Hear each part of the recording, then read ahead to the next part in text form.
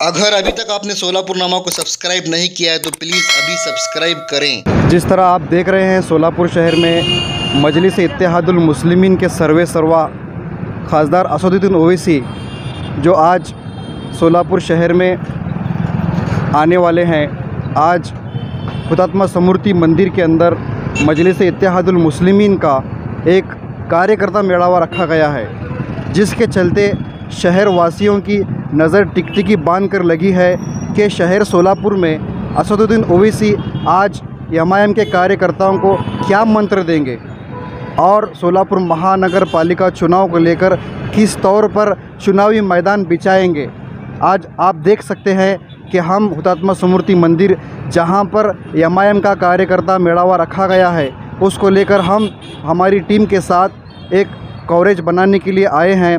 आप देख सकते हैं कि पूरी तरह से पुलिस बल तैनात है, क्योंकि आज सोलापुर शहर में असदुद्दीन ओवैसी तशरीफ़ ला रहे हैं, जिनके लिए आज एक मेड़ावा रखा गया है। इसके बाद यहाँ से आगे का क्या उनका कदम उठाया जाएगा, इसको लेकर सोलापुर नामा 24 न्यूज़ चैनल की टीम पूरी कवरेज आपको देती रहेगी। मैं सोलापुर नामा 24 न्यूज़ चैनल से सादिक शेख, कैमरामैन कामिल पटेल के साथ।